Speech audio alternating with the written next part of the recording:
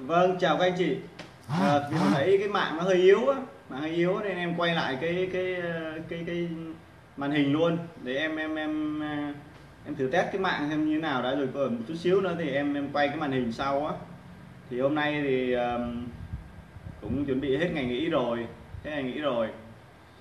Em quay lại em uh, nói tiếp thêm cái uh, cái phần phần 2 của cái định giá giản đơn cho cho người mới bắt đầu á.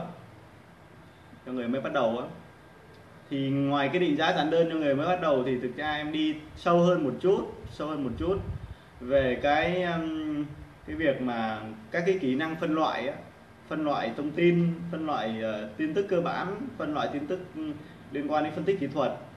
Rồi mình phải phân loại ngoài cái định giá ra thì mình dùng dùng một cái giải pháp nữa để để tránh cái việc mà mua sai ấy, là mình sử dụng giải pháp phân loại. Em thì thì thì uh, cái mạng ở ở nhà thì chắc tốt hơn đấy nhưng mà hồi nãy quay cái bên kia thì nó không được tốt lắm. Không được tốt lắm nó chập chờn. Thì bởi vì em muốn quay cái màn hình máy tính á, thì hướng dẫn các anh chị nó dễ hơn. Hướng dẫn anh chị nó nó nó nó, nó giản đơn hơn. Thì thế này này cũng trao đổi thêm với các anh chị. Anh chị có nghe thấy em không ạ? Có nếu mà nghe thấy ok tốt em không không test không ngồi gần máy tính em ngồi xa máy tính một chút để nói chuyện với anh chị. Thì nếu mà nghe thấy thì thì phản hồi cho em là là xem là có ok không ạ à, alo? Chắc là nghe tốt đúng không ạ? Nghe thấy âm thanh tốt đúng không ạ? Dạ. Um, tiếp cái cái ờ, cái phần hôm qua về cái phần 1 về cái định giá giản đơn cho người mới bắt đầu á, thì em đi tiếp đến một cái phần nữa. Đó là liên quan đến các cái giải pháp làm thế nào để phân loại được Ừ, cổ phiếu theo phân tích cơ bản hoặc là theo phân tích kỹ thuật. Để phân loại ấy, tức là làm thế nào để biết được rằng là 800 cổ phiếu 1.000 cổ phiếu thì mình nên chọn những cổ phiếu nào trong cái danh mục của mình. Như cách một cái cách giản đơn thôi tức là cái cách rất là là cơ bản thôi. Vẫn là video này em vẫn nói chuyện là để để cho những người mới tham gia đầu tư chứng khoán những cái bạn mới hoặc là những bạn sinh viên học ngành ngân hàng tài chính mới ra trường còn đang ờ, bỡ ngỡ chưa biết tiếp cận với thị trường tài chính theo cái phương thức nào thì hai cái cách một là nghe em nói hai nữa là đọc thêm sách vở. Thì chút xíu đây thì em sẽ sẽ giới thiệu với anh chị uh, thêm về về về về các loại sách. Cuối cuối cái video này thì em sẽ giới thiệu một cái, cái những cái sách nên đọc cần đọc. Còn bây giờ thì em sẽ hướng dẫn các anh chị một số cái giải pháp để mà lựa chọn lựa chọn. Ok em em quay cái, cái màn hình của máy uh, máy tính.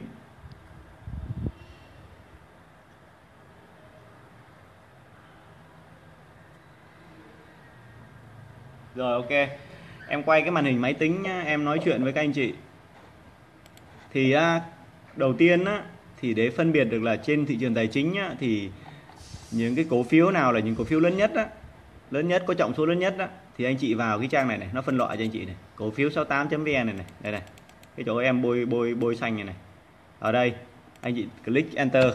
Cổ phiếu 68.vn cái này là nó trên internet nó không cần phải cái chương trình gì hết. Chương trình phân tích kỹ thuật sau này anh anh em sẽ hướng dẫn anh chị trên đây luôn. Nó sẽ rất là tiện. Thì kéo xuống dưới trang á, có cái phần là xem tỷ trọng ảnh hưởng của các cổ phiếu á, thì đây anh chị kích vào. Thì nó sẽ cho anh chị lần lượt tỷ trọng của của rất nhiều những cổ phiếu. Đây lần lượt đây tỷ trọng này. Tỷ trọng của Vinamilk này chiếm chiếm tỷ trọng bao nhiêu so với khi mà ảnh hưởng đến chỉ số này? Đây. Bia Sài Gòn này, ga này Vietcombank này, Vincom này, công thương này BIDV này. Và nhìn vào đây thì các anh chị sẽ thấy là những cổ phiếu nào có có vốn hóa lớn trên thị trường, vốn hóa lớn nhất trên thị trường thì nó cũng là chính là cái tỷ trọng. Đây 25 cổ phiếu có vốn hóa lớn nhất trên thị trường đây. Sẽ định hướng, định hình được cái thị trường tài chính. Anh chị mới mới mới tham gia chỉ định hình được rằng là nhìn thì cả một cái bảng điện nó lớn cả hàng nghìn cổ phiếu. Nhưng thực tế những cổ phiếu lớn nhất có trọng số lớn nhất là nó nằm ở đây hết rồi này. đây này em đọc lần lượt cho anh chị trên từ trên xuống dưới này đó anh chị nhìn thấy không? Masan này báo Báo Việt này Hòa Phát này. Rồi à, thế giới di động này ngân hàng uh, quân đội này FPT này. Đấy anh chị nhìn thấy không? Hoa Sen này SSI này rồi sang trang 2 thì anh chị sẽ thấy 50 cổ phiếu tiếp theo nữa. Ok. Cái nào cái này là cái đầu tiên anh chị định hình. Anh chị kích lại cái chữ cổ phiếu 8 ở góc này để trả lại cái trang trang chính. Thì để muốn phân tích kỹ thuật đó, anh chị kích vào đây. Đây này. Đó kích vào đây. Thì nó sẽ ra cái biểu đồ phân tích kỹ thuật. Tắt cái cái cái quảng cáo đi. Ngừng cái quảng cáo này đi. Ok tắt nó đi. Là anh chị sẽ thấy cái biểu đồ phân tích kỹ thuật đây. Biểu đồ phân tích kỹ thuật thì có rất nhiều đường rất nhiều chỉ báo thì thường em hãy em xem mấy cái chỉ báo đơn giản thôi. Đây này em hay xem cái SMA và cái EMA này, này. đây này EMA anh chị kích vào 5 ngày 20 ngày 50 ngày 100 ngày. Đó. Và cái ADX thì em hay dùng cho dài hạn nhưng mà cái này để em hướng dẫn sau cho các anh chị đi. Em hướng dẫn cho anh chị cái đơn giản nhất đó là cái MACD đi. Đây anh chị kích vào đây này. Đó chỗ ấy theo anh chị theo theo dõi được không ạ? Đây này MACD này. Kích vào MACD tích vào cái chuột này và vẽ biểu đồ thì nó sẽ ra cho anh chị là hai cái đơn giản nhất, đó là cái biểu đồ, cái biểu đồ hình nến, biểu đồ nến, và cái MACD đây MACD đây. Anh chị có thể xem một một năm 3 năm. Bao nhiêu lâu hơn tùy anh chị, thì anh chị sẽ nhìn thấy biểu đồ VN Index của chúng ta đi này. Đây này, anh chị nhìn này. Nó hiển thị cái ngày ngày đây này, ngày dưới này. Đây, nhìn đầu, cái đầu ngón tay em chỉ này. Ngày 13 tháng 5 2014 này, là nó, giá nó đang nằm ở đâu này đỉnh này, xuống đáy này, lên đỉnh này, nó cứ lặp đi lặp lại, lặp đi lặp lại như thế. Và từ năm 2014 có thể là từ năm 2013 đây là em vẽ sẽ dài hơn một chút nữa. Cho anh chị nhìn thấy nó rõ hơn, đây, biểu đồ của VN Index này, để định hướng, định định hình chung về về về về về thị trường này. Đây là những năm, đây này, những năm 2005 này, là những năm đầu tiên là năm 2000 nhưng từ năm 2000 đến năm 2005 nó có một cái đợt, thì lúc này thì mình chưa biết về thị trường nhưng đến năm 2005 này, anh chị nhìn thấy từ năm 2005 mà nó lên tới đây 14 tháng 3 năm 2007 là tạo nên một cái đỉnh là khoảng tầm 1200 á. Đây này anh chị này, đấy, cái vị trí đỉnh này này 1200 này. Và nó, cái đợt đấy thì những anh nào mà được cái đoạn này thì thắng lớn lớn. Có khi có những có những người đầu tư chứng khoán cái giai đoạn đó được 4 năm cái nhà rồi đó.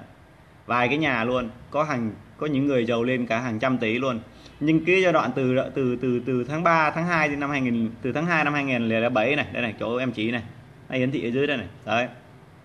Đến đến tận tháng 2 năm 2009 á, thì nói chung là từ năm sáu cái nhà hoặc là vài trăm tỷ thì về tay trắng cũng nằm ở đây nằm ở ngay cái góc này này đấy. Là nó giảm đi giảm miệt mài luôn. Tất nhiên trong quá trình giảm nó có một cái lời phục phục hồi nhưng chuyện bắt được cái vùng này là rất là khó. Và đến tận tháng 2 năm 2000 tức là gọi là ngày ngày 10, 10 18 chính xác em nhớ là ngày 29 tháng 2 năm 2009 là cái đáy. Đáy của nó là 235 á 235 và nó tạo cái đáy sau một cái đợt suy giảm suy giảm lớn ấy, và nó tăng lại đến tận tháng 10 năm 2009 tăng từ 235 mà tăng lên 630 á. Sau đó nó nó, nó từ 2009 nó đi lình trình lình trình lình trình giết đến tận năm 2013 13 và em mở cái biểu đồ 3 3 năm cho anh chị xem. Đây đến 2013 là là cái khu vực này. Đây 13 14 này bắt đầu nó đi theo một cái chu kỳ mà các dân dân dân phân tích ấy, dự đoán dễ lắm. Cứ một năm là nó lên từ đầu năm lên lên một nhịp sau đấy nó lại xuống nó lại lên ra lại xuống. Tức là cái xuống bằng cái lên. Nó lên sau nó xuống thậm chí có những đợt nó nó xuống. Và trong cả cái giai đoạn này này nó có nhiều vấn đề lắm. Nào là vụ bắt bớ bầu kiên này nào là vụ biển đông này nào là vụ dầu khí này anh chị nhớ vụ dầu khí là nó giảm giảm giá từ 120 đô á, mà nó giảm á, thì nó xuống nó xuống mạnh. Đó là trong cả cái chu kỳ này thì dự đoán thị trường thì các dân phân tích chỉ dân ờ, chuyên các quỹ dự đoán thị trường quá dễ luôn. Cứ lên đến đỉnh sau xuống lại đúng cái đáy, sau lên lại lên một cái đỉnh nào đó, lại xuống đáy. Và những cái lần đi xuống đó nó đều ảnh hưởng của tin tức. Nhưng duy nhất có năm này là bắt đầu tính từ 21 tháng 1 năm 2016 anh chị có nhìn thấy không ạ? Chắc là nhìn thấy đúng không ạ? Ok 21 tháng 1 năm 2016 là nó đi lên và đợt này nó không đi xuống. Nó không đi xuống. Nó nó nó có có điều chỉnh trong những nhịp đi lên em mở cái một năm rưỡi cho anh chị xem. Đây, anh chị nhìn thấy một năm rưỡi vừa rồi. Thì đây là cái cái vùng khu vực mà đáy của năm 2000 tức là đầu năm 2016 hôm nay thì em muốn tổng kết cái năm này luôn. Là 21 bắt đầu nó hình thành một cái đáy là 21 tháng 1 năm 2016 21 tháng 1 năm 2016 đó tầm đầu đầu năm đó, thì nó nằm ở khoảng tầm chính xác là 518 á.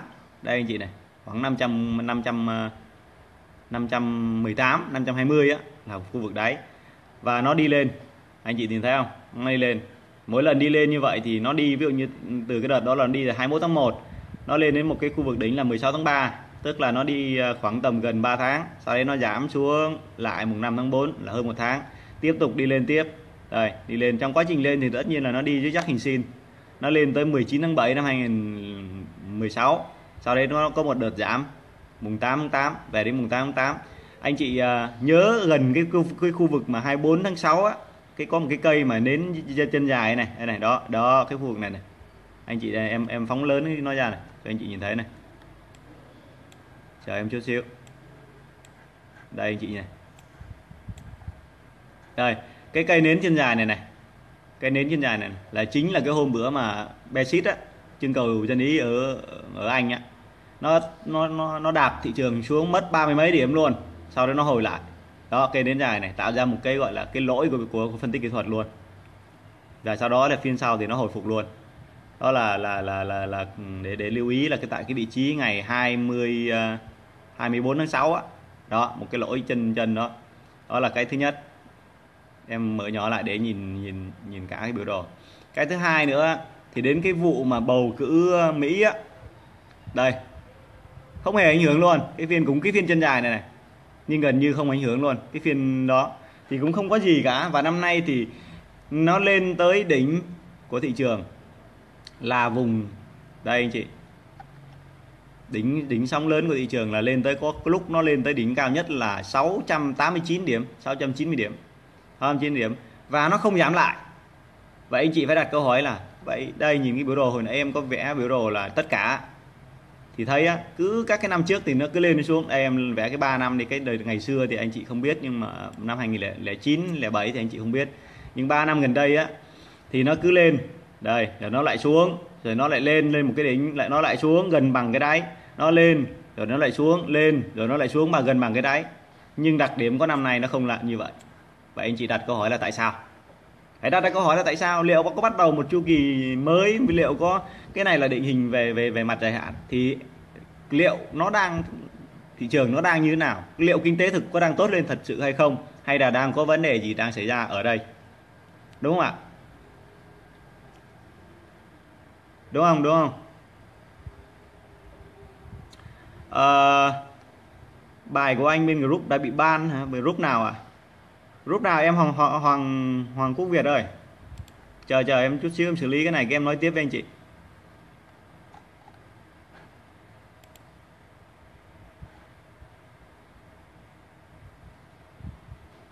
Em Hoàng Quốc Việt ơi, bài của anh bên group, bên nhóm đã bị ban hả? Không biết là như nhóm nào. Anh đang xem đây này. Mọi người à, like, chia sẻ dùm em trên các nhóm đi mỗi người cho em một một một cái chia sẻ ấn dùm cho em cái chia sẻ hoặc cái bình luận. Bình luận ở đây số 1 số 2 ở đây cũng được để tăng cái lượng người xem á. Được không à bình luận và ví dụ như hỏi cái gì đó hoặc là hỏi một cổ phiếu nào đó cứ gõ ở đấy đi em có thời gian em tập hợp em tổng kết cho cho cho mọi người. Rồi em đi quay lại tiếp. Em em em, em chia sẻ xem bên group Taliban là cái bên bên bên bên nhóm đúng không? Hồi nãy là là mạng nó yếu á anh bật lại á anh chia sẻ lại này. Đây trên câu lạc bộ tiền chứng khoán này. Ok. Rồi ok được rồi đấy. Chia sẻ luôn tiện thể luôn em chia sẻ trên một cái nhóm nữa để để để chi để nhiều người cùng được xem cùng cùng xem em nói chuyện những người nào mà mới á, thì cũng tốt thôi à định hướng định định hình thị trường chung á, cũng khá là ok đấy ạ. À. em tiếp tục nha. Đây anh chị thấy không? Thì à, năm 2016 nó có đặc điểm là không giống các năm khác, nó không chịu xuống, nó lên đến 609 rồi nó không xuống, nó ngồi trên đây. Nhưng thực tế em nói thật với các anh chị là đã có một đợt suy giảm. Đợt suy giảm đó nó không giống như các đợt suy giảm khác. Nhưng nhưng nó giảm tới, nó đã giảm tới 640 điểm rồi. 640 điểm rồi. Tại sao em lại nói là nó là 640 điểm? Tại sao em lại nói là nó đã giảm 640 điểm? Bởi vì đợt vừa rồi nó có hai vấn đề một là cái cổ phiếu Farod tăng từ 13.000 mà lên tới 130.000 thì với cái trọng số của Farod hồi nãy em có kiểm tra cho anh chị đây này em mở đi em đi từ từ từ từ bước một nha. Thì tại cái thời điểm cách đây khoảng tầm khoảng tầm một tháng á, thì Farod nó nằm ở trọng số số 8 tức là chiếm 3,5% chiếm 3,5% mà nó chiếm 3,5% trong khi đó nó tăng là từ 13 là lên 130 thì anh chị là cứ tưởng tượng là nó nó nó nó tăng kinh khủng như vậy thì nhân nhân cái trọng số lên theo bọn em tính toán á thì nó đóng góp cho thị trường. Đóng góp cho thị trường là 3,5 nhân với khoảng tầm à, số điểm của nó tăng á. Tổng trọng số 8 3,5% chờ em chút xíu. Thì nó đâu đó nó nằm ở khoảng tầm 100 điểm. À quên xin lỗi em xin lỗi 50 điểm 50 điểm 50 điểm. Vì nó được 50 điểm cái đoạn mà pha đốt nó lên nên là thị trường trong cái giai đoạn từ 609 609 609 cái giai đoạn mà từ 30 tháng 9 á 689 609 á. Nó đi đi xuống đây nó đi xuống nhưng nó xuống rất là chậm. Bởi vì cái đà xuống thì đà xuống chung của cả toàn thị trường từ các cổ phiếu trọng số lớn khác từ Việt Việt uh, Vinamilk từ trước đây thì chưa có Sabeco em nói Sabeco sau. GAT Vietcombank Vincom Công Thương BIDV Masan Bảo Việt Hòa Phát Thế giới di động ờ, uh, FPT tất cả các cổ phiếu đều xuống từ 8 đến 10 phần trăm trong cái chu trình này là chu trình xuống này từ cái đoạn này, này từ cái đoạn đỉnh này này xuống. Nhưng có cổ phiếu Faros nó đi đi ngược lên nên là chỉ số nó không giảm. Anh chị phải hiểu là cái một câu chuyện em tổng kết của cuối năm 2016 á, là sẽ hiểu là nó có đi xuống nó cắm đầu đi xuống nhưng do Faros nó lên mà nó lại là cái thằng mà tạo ra một cái cái cái số điểm không hề ít cho VN Index nên thành thứ ra được nó hỗ trợ cho VN Index 50 điểm. Vì vậy từ 609 mà em nói là xuống 640 là vì như vậy là anh anh chị cứ trừ đi cho em 50 điểm của Farod là anh chị sẽ lấy cái đáy của cái đợt vừa rồi là 600 nói chung là trừ qua sớt lại là 600 cái đáy vừa rồi ấy, là thấp nhất là 647 647 nhưng thực tế nó còn xuống sâu hơn nữa. Nó đã xuống sâu hơn nữa. Sau này nó lại thêm cái con Sabico với lại cái ngành bia nữa. Thì nó lại càng thể hiện rằng là thị trường nó meo mó về mặt chỉ số. Bởi vì hai cái cổ phiếu đó trong cái trọng số lớn ấy, thì Farod nó chiếm trọng số 3,5% trước đây thì nó ở vị trí 11 thì chiếm 2,5% còn Sabico mới lên gần đây nó chiếm tới 9% vì vậy đơn giản là đơn giản là thị trường. Nó suy giảm nhưng anh chị không nhìn thấy cái suy giảm.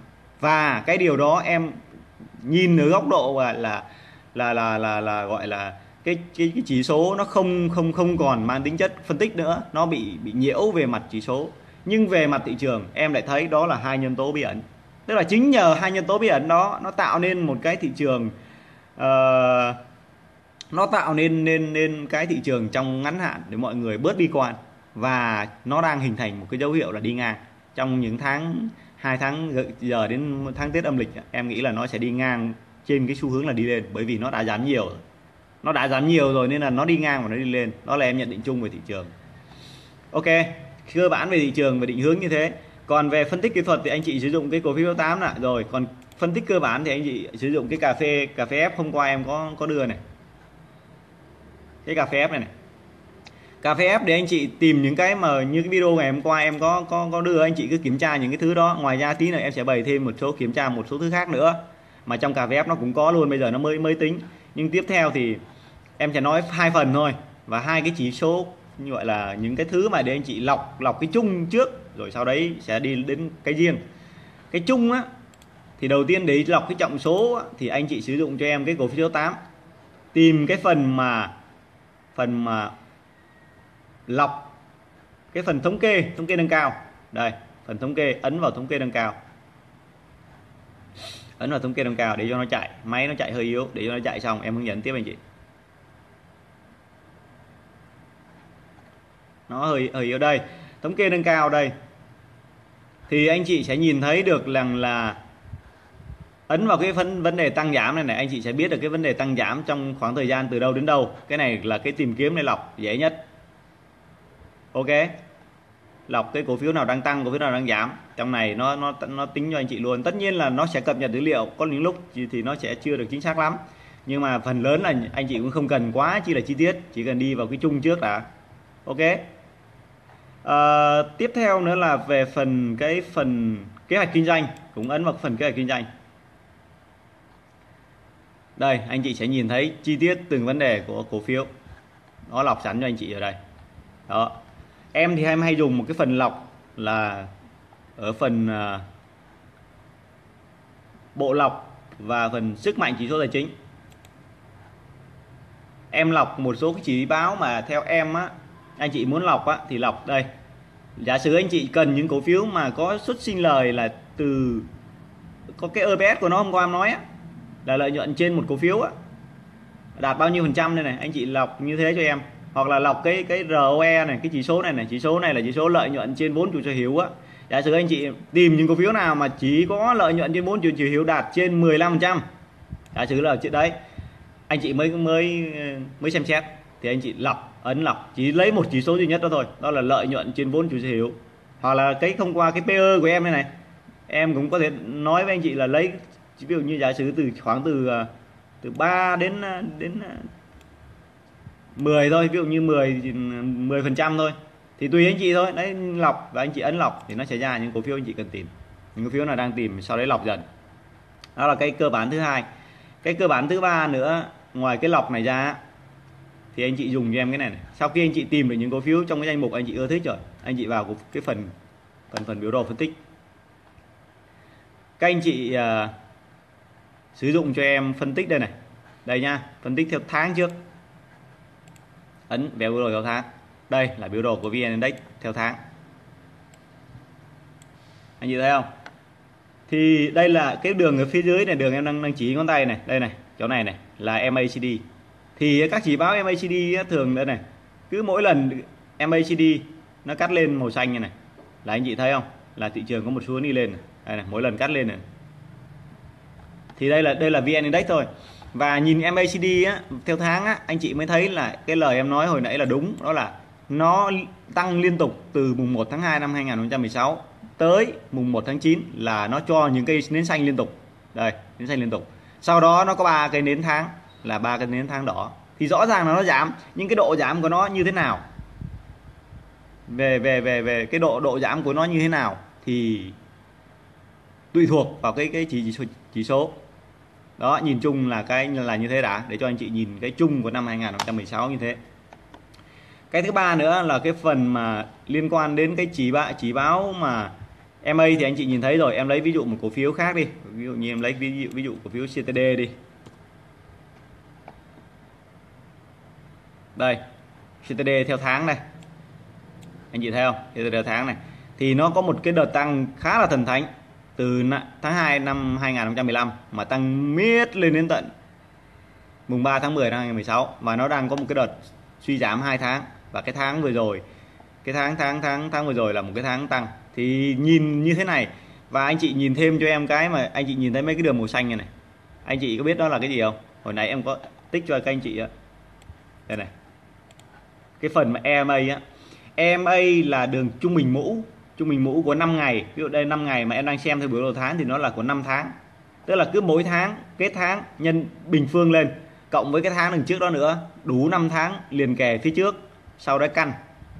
Là nó sẽ ra một cái điểm để vẽ cái đường cái đường đây này. Cái đường EMA là cái đường đường màu đỏ đây này, là của 5 tháng. Cái đường màu xanh này này, thì cũng là trung bình mũ của 20 tháng. Và đường này này là trung bình mũ của 50 tháng đấy nó sẽ ra. Thì theo quy luật của cái cái cái EMA hoặc là cái SMA nếu người nào xài mà tốc độ cái cái, cái độ biến động nó nhanh hơn thì dùng SMA còn uh, tốc độ biến động của mũ thì nó sẽ chậm hơn chút thì là EMA thì cái quy luật chung của nó là sắp xếp sẽ là đường giá trên cùng đường 5 đường đường trung bình mũ của năm năm gọi là tùy nha. Nếu tháng thì tính theo tháng mà ngày tính theo ngày tuần tính theo tuần. Thì em đang tính đây là của của của 5 tháng sau đến sẽ là đường trung bình mũ của 20 tháng sau đến đường trung bình mũ của 50 tháng. Và có nếu mà xem trong ngày nữa thì nó sẽ là đường trung bình mũ của của 100 nữa. Thì quy luật mà khi của cổ phiếu mà nó đang đi lên bền vững á, thì nó sẽ tăng nó sẽ sắp xếp theo đúng quy luật là đường giá trên cùng đường 5 thứ hai đường 20 thứ ba và đường 50 thứ tư đường 100 ở phía dưới nữa. Tí em mở cái cái cái theo ngày anh chị nhìn thấy. Thì thấy thế giới động là một à cái à, cô Tech Công là một cổ phiếu mà mà có một xem theo bộ đồ tháng thì khá là đẹp, khá là đẹp. Nếu cái giai đoạn mà từ hai năm trước, từ năm 2015 và 2016 anh chị mua cô Tech Công chỗ nào cũng thắng luôn. Mua xong buông đó thắng, mua xong buông đó thắng. Và em kỳ vọng rằng là năm 2017 cũng vẫn đang cái chu kỳ tăng của cô Tech Công nhìn thấy trên biểu đồ tháng luôn. Đây, nó có một đợt suy giảm khá là yếu bởi vì nó tạo ra một cái vùng đỉnh vùng đỉnh cao đấy, cũng không phải thấp đâu. Vùng đỉnh của nó là lên tới là là là là là 207 á. 207 sau vừa, vừa rồi nó có có một đợt chia. Sau đấy nó áp lực nó xuống lại vào hai tháng vừa rồi và đang có một cái tháng xanh lại. Đó là nhìn theo tháng. Nhìn thấy EMA thì nó cũng đang có dấu hiệu hơi xấu đi một chút nhưng bắt đầu mình chuyển sang là thấy tháng là có vẻ ổn. Nhìn hai năm vừa rồi cô thấy công tốt ổn. Thì xem sang xem sang đó là biểu đồ theo tuần. Đây anh chị sẽ ấn vào loại biểu đồ xem biểu đồ theo tuần. Ờ, ok vẽ. Thì nhìn theo biểu đồ theo tuần thì anh chị nhìn em sẽ vẽ lại cho anh chị khoảng tầm trong một năm rưỡi hoặc hai năm thôi. Chờ em chút. Nó nhỏ lại cho nó vừa. Đây rồi hơn tuần. Thì anh chị thấy không? Nhìn cái tuần anh chị mê luôn. Nó lên miệt mài luôn mua chỗ nào cũng thắng giống như cổ phiếu của em nói. Và nó sắp xếp này anh chị nhìn này. Nó sắp xếp này. MA này. Đây là dưới là MA của nó. Mỗi lần MA cắt anh chị mua ok này.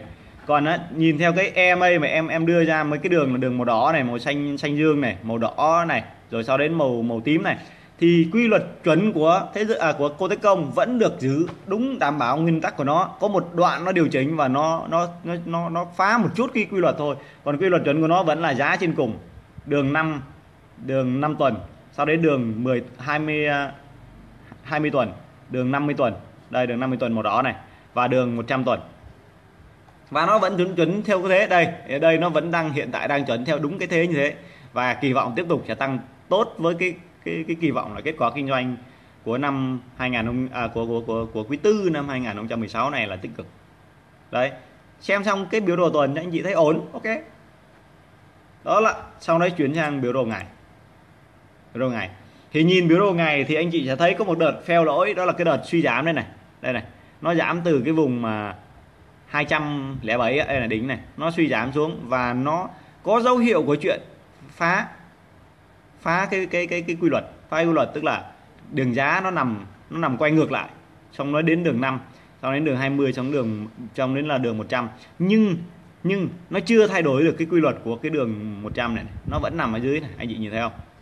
Thì mới thấy rằng là đó là cái điểm thời điểm đó là thời điểm duy nhất trong cái giai đoạn bạn hai năm vừa rồi là để có cơ hội nó thay đổi nó nó nó nó nó, nó phá như thế để anh chị gia tăng tỷ trọng. Đây này chưa có lần nào nó phá như thế đây, có một lần trước đây nó cũng phá như thế nhưng mà nó cũng chỉ mới chạm thôi. Lần này nó phá mạnh hơn. Nó phá xuống dưới cả cái đường đường đường đường đường, tính theo theo ờ, đây em đang xem trong ngày. Tính theo 100 ngày á, đây này, đường màu màu đỏ dưới cùng này. Thì đó là những cơ hội để gia tăng. Cái điểm gia tăng tỷ trọng nhiều nhất là là ở cái ngày mùng 3 tháng 2 năm 2016 đó là điểm gia tăng tỷ trọng tuyệt đẹp. Và đây là điểm gia tăng tỷ trọng lần thứ hai, lần thứ hai đó trong cái chu kỳ đi lên của một cổ phiếu nếu em tính chu kỳ đi lên của nó khoảng tầm 3 đến 5 năm á, thì đó là những cái điểm mà để gia tăng tỷ trọng lớn gọi là ôm những cổ phiếu này. Và đó là điểm thời điểm ờ, điểm hợp lý nhất để gia tăng tỷ trọng của cổ phiếu. Khi nó thay đổi và trong cái một cuốn sách của bạn Trương Minh Huy á, bạn này bạn đã nói về chim tinh học á thì bạn đã có viết về cái cái SMA và EMA nó gọi là những cái vị trí này là những cái vị trí gọi là Delphic fix những cái cái cái cái thời điểm mà mà tạo nên cái cơ hội để gia gia tăng tỷ trọng á. Đó. Anh chị vẫn nghe mình mình mình mình mình mình nói đi ạ. Đây còn à, MACD đây. Đấy em hay sử dụng hai cái đường này rất là là dễ cho anh chị sử dụng. Và để kiểm tra cổ phiếu em vừa kiểm tra xong đa khung thời gian đó là thời gian tháng thời gian tuần và thời gian ngày. Khi mà anh chị xem một cái cổ phiếu mà cả đa khung thời gian đều tốt đều đảm bảo ok thì đó là cũng là một cái giải pháp để lọc đó là một cái giải pháp để lọc cổ phiếu. Cổ phiếu phải được thỏa mãn được cái tiêu chí đó thì anh chị mới giao dịch. Còn nếu không thỏa mãn mà đây em lấy ví dụ đi. Em lấy ví dụ một con cổ phiếu thần thánh ví dụ như hoàng anh gia lai đi. Những cổ phiếu như như thế này thì nó thỏa mãn cái tiêu chí sọc xeo á. À, nhìn lên nó xuống miệt mài em em lấy ví dụ như hai năm này. Thấy không? nó xuống miệt mài thế này anh chị có mua giỏi bằng mấy mà chỉ chỉ cần mua mua cái là chết ngắt. Em cho luôn nó 3 năm hoặc tất cả đi. Anh chị thấy không? Nó cắm đầu, cắm cổ như thế này mà từ cái vùng cao nhất là 39 này, vùng gần đây là 25 này. Và từ 25 anh chị mua thấy không? Cắm đầu, cắm cổ, bây giờ còn có 5 nghìn. Thì em chưa nói đến câu chuyện có tạo đá hay là bắt đang hình thành chu kỳ chạm đáy hay không. Nhưng anh chị giao dịch cổ phiếu này, dù anh chị giỏi bằng chừng mấy đi chăng nữa thì anh chị mua vào và anh chị giữ, anh chị cũng chết, cũng mất tiền. Và em kiểm tra theo ra khung thời gian để anh chị thấy biểu đồ tháng của nó này. Đây, biểu đồ tháng thì à, sắp xếp là cái anh à, cái anh giá nằm dưới cái anh năm à, năm phiên nằm đây cái anh à, 20 phiên nằm đây và cái anh 50 phiên. Cái này đang theo tháng nên là gọi là tính theo là là là 50 tháng 20 tháng. À, anh này là anh 5 tháng và anh giá. Luôn luôn nằm dưới theo quy luật chuẩn của nó là giá nằm dưới. Thì anh chị giao dịch kiểu khí gì cho nó thắng được cái cổ phiếu này. Từ cái vùng từ cái ngày là từ mùng 1 tháng 10 năm 2014 đến giờ. Mua kiểu gì cũng chết. Nên tóm lại gặp những cổ phiếu mà nó đang theo cái sắp xếp chuẩn như như thế này anh chị tránh ra dùm em. Ok. Uh, ok cái này nó hơi phức tạp một tí nhưng mà cố gắng nghe hiểu đi rồi anh thắng giải thích dần. Giải thích dần cái vụ vụ này. Nó có có ích cực kỳ luôn trong cái câu chuyện mà loại những cổ phiếu theo đa khung thời gian đa khung theo tháng theo tuần chuyển nhanh theo tuần. Tuần đây tuần đến năm dưới không à? Và theo ngày tin tức có thể lừa anh chị được tin tức có thể lừa anh chị được. Nhưng cái thứ em đang phân tích cho anh chị bằng cái việc mà phân loại bằng biểu đồ kỹ thuật. Nhưng mà ít người để ý những chuyện này. Chỉ nhìn mỗi nhăm nhăm trên cái biểu đồ ngày với lại cái biểu đồ biểu, biểu đồ giờ. Mà quên đi cái đa khung thời gian đó là khung thời gian tuần và khung thời gian tháng. Bởi vì khung thời gian tuần khung thời gian tháng nó giống như anh chị phân tích theo quý và phân tích theo năm. Giống như hôm qua em hướng dẫn với anh chị về cái cái phân tích cơ bản là xem xét trong vòng 10 năm hay là xem xét trong vòng nhiều quý á đến điểm chi? Đấy thì không thể lừa mình được. Lừa làm sao được? Lừa mình trong vòng một vài phiên lấy khối lượng làm giá trong vòng một vài tuần. Chứ không thể lừa anh chị mà liên tục trong vòng nhiều năm được. Nhiều nhiều tháng được. Đúng không? Đúng không? Đúng không? Nên đó là cái cách để phân loại. Hôm nay em nói về cái, cái thêm một cái phân loại phân tích kỹ thuật đó. Thì em mới chỉ em hay dùng mấy đường MA này mấy cái đường về EMA này rồi à, MACD này còn về Ichimoku thì có một buổi em sẽ nói riêng về cái này. Cái này cực kỳ hay hay nhất trong tất cả phân tích kỹ thuật mà em từng biết và em giỏi nhất cái món này. Nên là em sẽ nói một buổi sau một buổi riêng về nó. Nhưng em chỉ nói hai cái cái phân loại đó. Còn có nhiều đường lắm. Hoặc là ví dụ như về volume này tức là về khối lượng á em cũng sẽ nói một một cái bữa về mặt khối lượng. Khối lượng cũng là cái thứ mà mà mà không lừa mình được.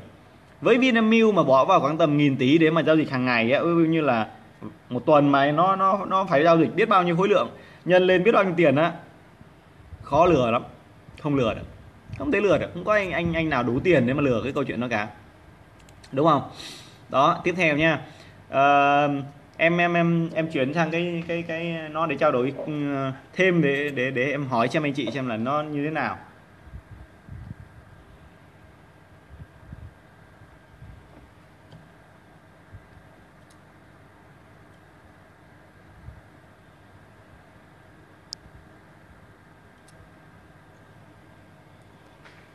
Chị có hiểu em nói không?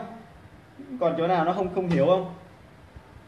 Bởi vì nhá em nói về cái vụ này á là là là là bởi vì nó hơi hơi hơi phức tạp hơn chút.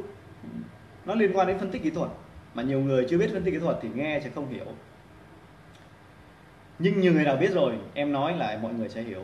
Người cố phải hiểu vì thứ thứ em nói bởi vì cái thứ em đang nói á, nó có một cái đặc điểm đó là nó dùng để để tránh cái sự lừa đảo tránh những cái gọi là tin tức đánh lừa anh chị. Tin tức ngắn hạn có thể đưa ra được, có thể bịa được và có thể ảnh hưởng về mặt ngắn hạn một vài phiên. Nhưng cái thứ em đang làm, phân tích theo đa khung thời gian trên biểu đồ kỹ thuật bằng hai chỉ báo, đó là chỉ báo EMA anh chị muốn nhanh hơn thì dùng SMA SMA là trung bình trung bình trung bình cộng, trung bình cộng của nhiều ngày đến tạo ra các đường SMA còn EMA là trung bình mũ rồi cộng dồn lại căn bậc căn bậc 2 thì sẽ ra EMA muốn muốn nhanh thì dùng SMA mà muốn chậm hơn thì dùng EMA và đường nữa là MACD nhưng không được kiểm tra, không được kiểm tra trên chỉ mình biểu đồ giờ, biểu đồ ngày mà anh chị kiểm tra dùng cho em cả trên biểu đồ tuần và biểu đồ tháng. Kiểm tra đa khung thời gian, đa khung thời gian ở đây tức là có những người sử dụng rất nhiều khung thời gian khác nhau. Em sử dụng khung thời gian của em nó là ba khung chính thôi. Đó là ngày, tuần và tháng nếu như biểu đồ thể hiện rằng cả ba khung thời gian đó đều ok, đều tốt, thì đương nhiên doanh coi coi lại cổ phiếu đó trên phần phân tích cơ bản ở cà phê anh chị sẽ thấy nó tốt, đảm bảo cái tiêu chí là về cơ bản cũng sẽ tốt. Anh chị có thể đưa ra một ví dụ nào đó, sau đó anh chị kiểm tra, sau đấy quay lại coi trên cà phê bằng cái phần video phần 1 của em á. Anh chị sẽ thấy nó đúng và nói chung đúng mà nói chung thì à, buổi hôm nay thì em cũng chỉ nói thêm một số cái cơ bản về cái cách các cái trang web. Em quay trực tiếp màn hình để nói về các cái trang web trang web. Cho anh chị mới chưa có biết ở đâu tập hợp dữ liệu như nào thì có những trang web như thế. Uh, website để kiểm tra cơ bản thì có uh, cà phê app nhà đồng hành Vietstock đọc chuyên sâu hơn thì báo à, đầu tư chứng khoán báo thời báo kinh tế Sài Gòn ok? Còn nếu để phân tích cơ bản á, à, phân tích ờ, kỹ thuật á, thì ờ, sẽ có chương trình Mega Stock hoặc là một số chương trình Ami Broker là dùng riêng cho cài. nhưng cái đó em thấy phức tạp quá mà cập nhật nhiều anh chị không không có để ý. Thì cứ vào cổ phiếu 8 hoặc là dùng vào một số cái trang phân tích kỹ thuật của của anh uh, chứng khoán MBS cũng có cái biểu đồ phân tích kỹ thuật. Khá là ok. Hoặc là cái trang web Fien kiến lửa. Từ tiếng Anh là là Fien nhưng mà từ tiếng Việt nó là kiến lửa vn cũng ra một cái biểu đồ phân tích kỹ thuật khá là ok. Thì anh chị chỉ dùng những cái đó để phân tích. Đó là về phần phần sử dụng phân tích kỹ thuật. Một vài đường cơ bản như thế, chia sẻ với các anh chị, để anh chị có cái để mà lọc lọc những cái thứ mà anh chị có thể bỏ nó đi. Nó gọi là em đang em đang hướng dẫn cho các anh chị về cái cái quy trình tạo ra những cái bộ lọc. Mình lọc, mình bỏ những cái thứ rác rưởi đi. Mình chỉ nghiên cứu những cái thứ mà đáng để phải nghiên cứu. Bởi vì một nghìn cổ phiếu, làm sao anh chị đọc hết báo cáo tài chính của cả nghìn cổ phiếu được. Warren Buffett cũng đọc không nổi nữa là làm sao đọc được đúng không? Thì vì chính vì thế nên là là là là, là anh chị không thể đọc hết được không thể không thể làm hết những chuyện đó được. Còn à, em video sau thì em sẽ hướng dẫn anh chị một số cái chỉ số mới của của cà phê ép nó có luôn mà anh chị dùng để lọc. Ví dụ như là lợi nhuận trên vốn chủ sở hữu lợi nhuận trên doanh thu rồi ví dụ như là một số chỉ số chuyên biệt hơn. Nhưng vẫn cứ lưu ý cho em là hãy phân tích nó dài một chút càng dài thì nó càng không lừa đảo được càng không lừa đảo được còn bây giờ thì khoảng tầm 5 phút em sẽ, em, sách của em thì nhiều lắm, nhưng hôm nay, hôm qua em ngồi em đọc em đọc lại. Thì em thấy khoảng đâu đấy khoảng 10 cuốn sách các anh chị nên đọc nên đọc. Em giới thiệu với các anh chị 10 cuốn nên đọc. Ok, chờ em chút, em đi lấy lấy sách, giới thiệu với anh chị.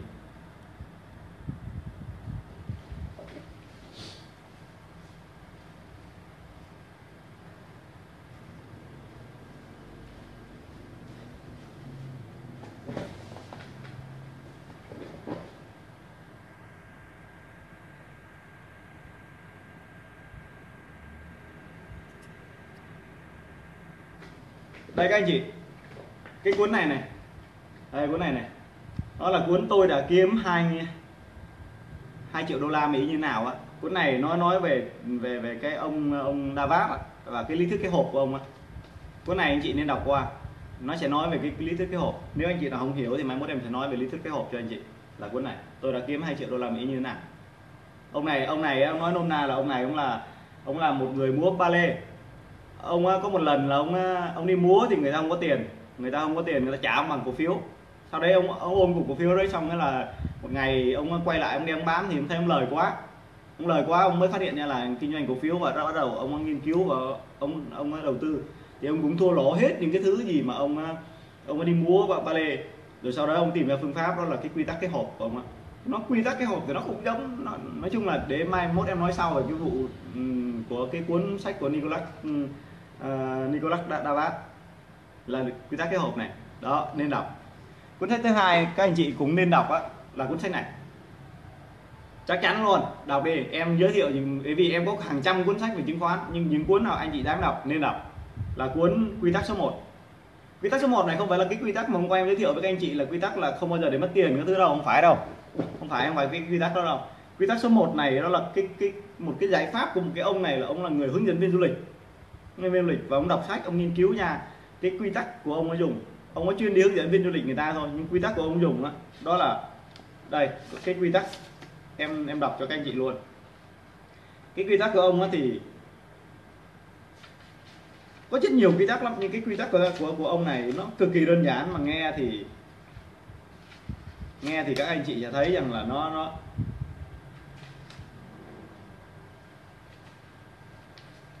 hay lắm em thấy hay lắm cuốn sách này hay. Cuốn sách này anh chị nên đọc nên đọc qua một lần. Quy tắc số 1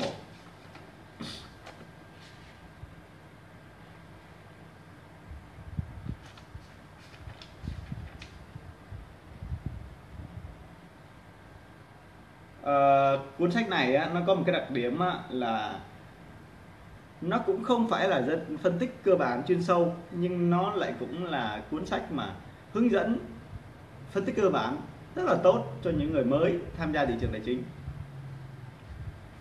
nó nói về một cái quy tắc có bốn chữ mở, có bốn chữ mở, quy tắc số 1 và bốn chữ mở. chờ em chút xíu em nhớ đúng cái nguyên văn của cái cái cái quy tắc của ông đó.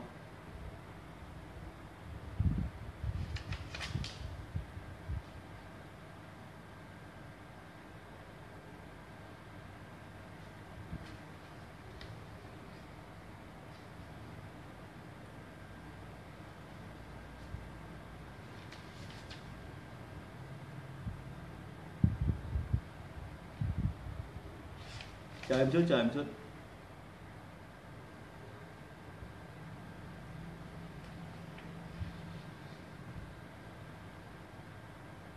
À, cái bốn chữ M ông này ông nói tới đó là ý nghĩa của bốn chữ M đó là từ uh, lợi thế cạnh tranh này là ý nghĩa này uh, quản lý này và biên độ an toàn. Ông nói về bốn cái chữ M này bằng tiếng Anh đấy anh chị. Munich từ từ chờ em chút. Còn cái từ quy tắc của ông đó, đó là tự nhiên em quên bén mất cái quy tắc này của ông á. Tóm lại là cuốn sách này anh chị về nghiên cứu đi rồi mai mốt em chờ trao đổi lại với anh chị về cuốn sách này. Em đọc cuốn sách này cũng khá lâu rồi. Ok? Hay cuốn sách này hay cuốn sách thứ ba mà anh chị nên đọc đó, đó là cuốn sách này. Làm giàu qua chứng khoán của William O'Neill. Ông nói về về về về về nhiều thứ lắm khá là hay. Và bảy cái cái cái cái cái cái, cái phân loại của ông về cái nguyên tắc can slim can slim là của ông cuốn này. Cuốn là làm giàu qua chứng khoán. Chắc chắn luôn hay nhất trong cái, các tất cả các cuốn của William O'Neill là cuốn này cuốn này thì cũng là một cuốn của của William O'Neill thôi là cuốn phương pháp đầu tư chứng khoán đó. cũng là cuốn nhưng mà nó tóm gọn hơn cuốn kia nó dày hơn còn đây nếu anh chị mà ưng với lại Warren Buffett và Soros thì hãy mua cuốn này mua cái cuốn mà bí quyết đầu tư và kinh doanh chứng khoán của tỷ phú Warren Buffett đó, và Warren Soros đó. Ralph Soros đó. đây cuốn này ok cuốn này cũng nên đọc này. ok cuốn cuốn giàu từ chứng khoán này này cuốn này nó nó tổng hợp lại tất cả những cái nhà đầu tư huyền thoại nhất từ từ những năm lâu lắm rồi.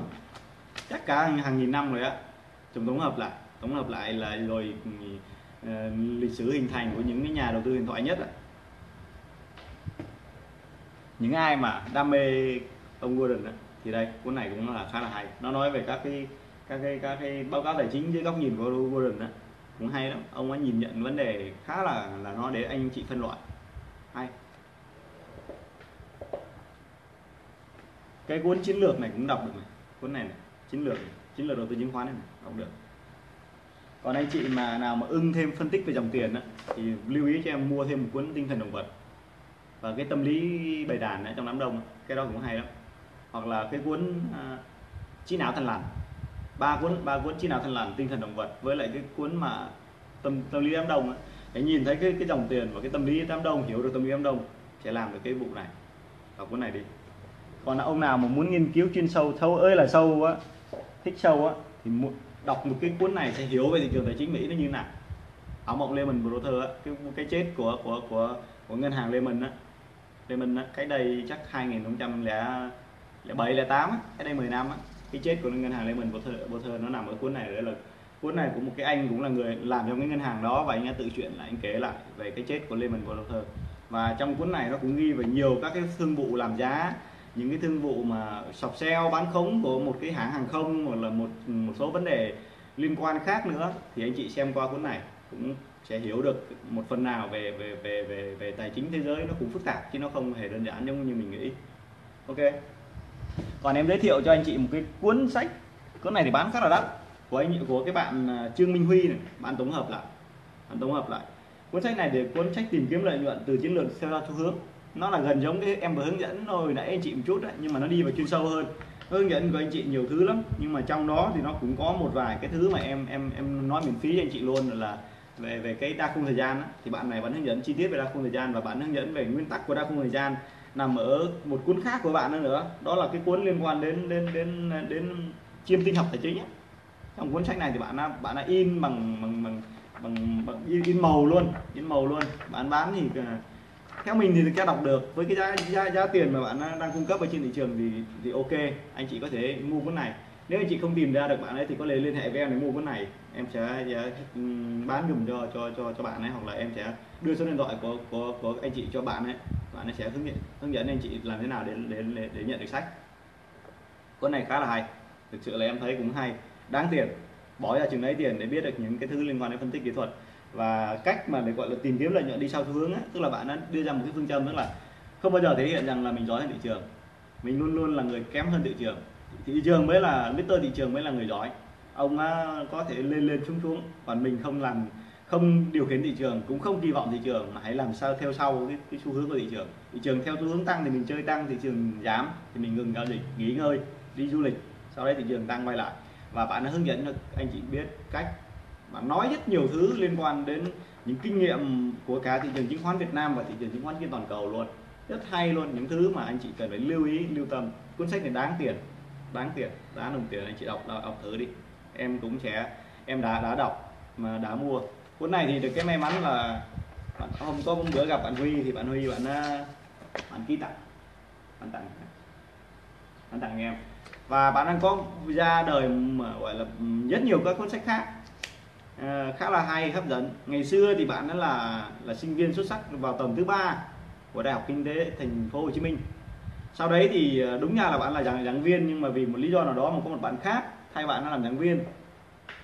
Được trúng cái vị trí giảng viên đó thì vì là bạn là học trò cưng của thầy Lê Đạt Trí nên là bạn đã đi cùng song hành với với thầy Lê Đạt Trí và có thể là có một thời gian bạn đã cũng là giảng viên tại tại tại tại đại học kinh tế Hồ Chí Minh nhưng mà chỉ là ở vị trí trợ giảng hoặc là giảng thay cho thầy Lê Đạt Trí một thời gian dài.